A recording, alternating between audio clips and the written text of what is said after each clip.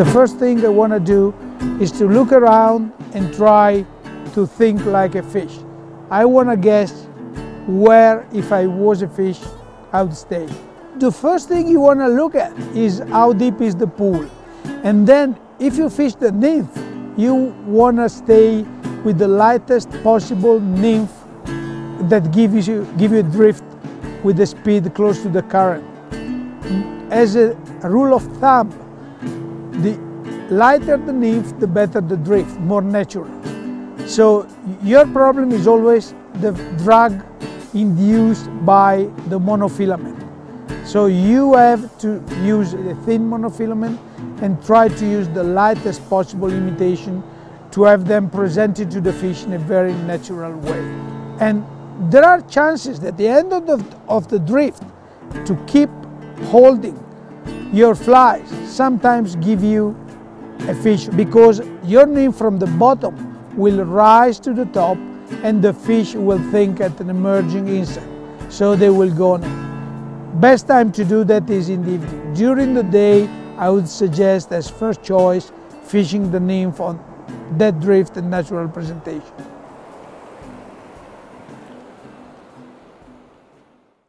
This is the, the, what we call the universal cast for the Tenkara rod and it's called the Belgian cast. This cast is done keeping the line under constant tension and with a very smooth movement. So what you will draw is an oval with your rod tip, you go back, you move in and you deliver forward. So the key of this cast are you want to have constant tension with the line and you have to draw with the tip of your rod an oval. So you start with the rod low, tension on the line, you go back, you stop here, you move the rod in and you go forward. So I, will show you now in continuous motion, you do this and this, this and this. The most common mistake are either to move the rod too much towards you, think that can hurt you because you can have the line on your back, or to go too low with the tip like this.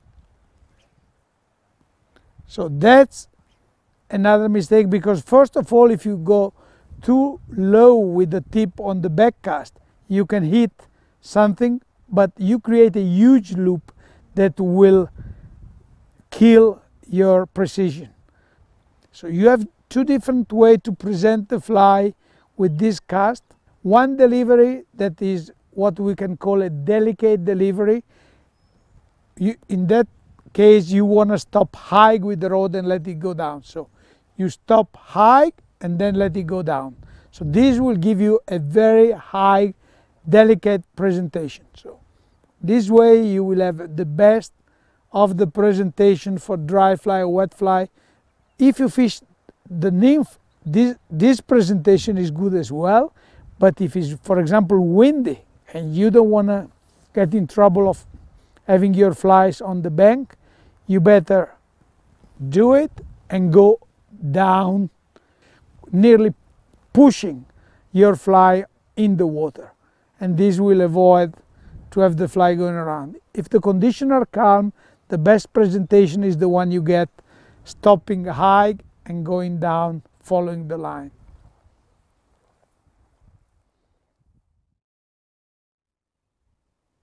As I've got the wind blowing on my face, instead of a regular cast, I will work out, out water tension cast. Put the line down and just flip it in and get in.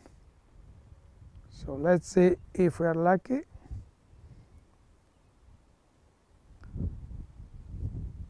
When you fish in a small pool like this one, you have to cast upstream in order to give your nymph enough time to go down deep. That, that little bend is quite deep, so I'm trying to fish my nymph as deep as possible. And that's why I cast upstream and then I let it go down following with the rod tip. Once the nymph get closer to you, as you've just seen, I have to lift the rod to keep it under control. So I start low, when they're in front of me I lift it and I just wait to see if anything happens. You don't want to pull the nymph, but you just want to follow them smoothly. That's all you want to do. Uh, here we are. Here we are with the first one. Good. So it seems that the rig was right. So in this case, the fish is not very big, so you can just smoothly. You keep the rod low as usual, and when you get close to yourself, you want to turn down the tip, reach the line, get the fish close to you, ready to release him.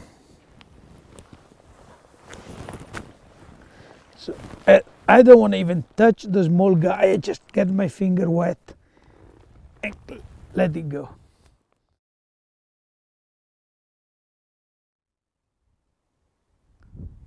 I'm using two nymph here because it's quite windy and as in places like this you cannot fish very big nymphs to add some weight and go down quickly. It's more deep than what you can think. We will fish places up to five, six feet.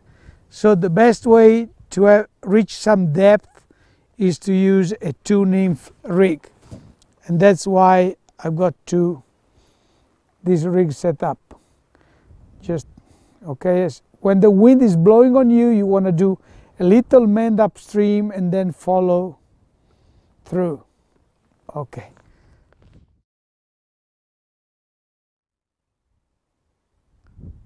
It's a very windy morning, so I have just changed my rig to a very short one, like about 12 feet.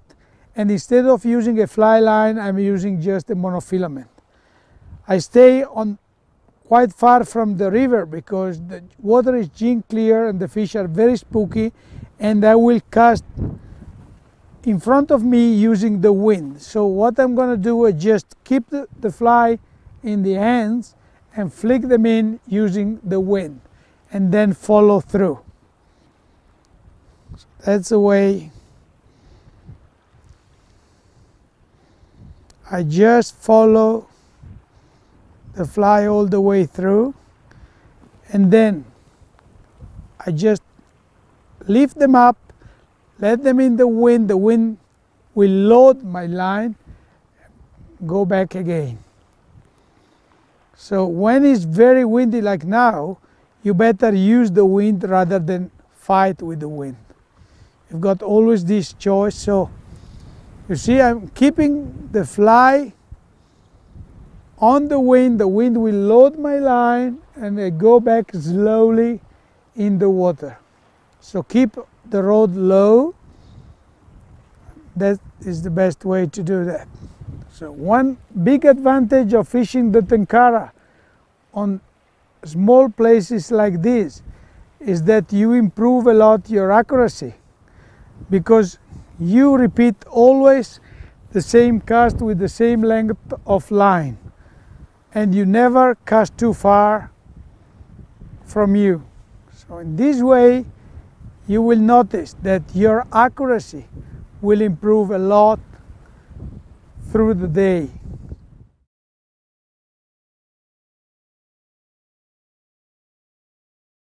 Oh, this is a good boy. This is a good one. In this case, you better follow them rather than leaving too much line out. So that's what I'm gonna do. I follow the fish tenkara like. Let's see. And this fish looks to be in very good condition. It doesn't want to move much. I try to apply side pressure because with big fish does pay off. They don't like to be pulled in front, but with the side pressure, you might get better result. Although this fish is not certainly a fish that will come easily. Let's see uh, if we are lucky and we can get it. So I keep on following the fish with the rod very low. Oh my God, that's huge. For this river is a huge fish. That's a record.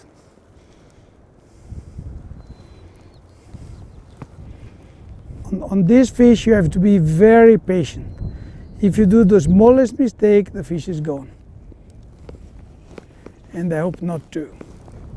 When, when you have a big fish on, you have always to concentrate 360 degrees to check out which are all the possible danger around you and avoid them as much as you can.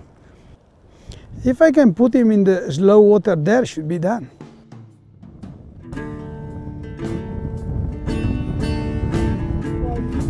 It's usual.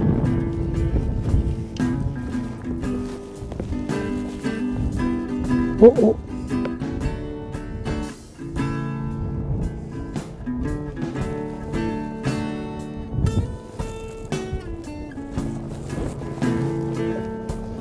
That's a big fish.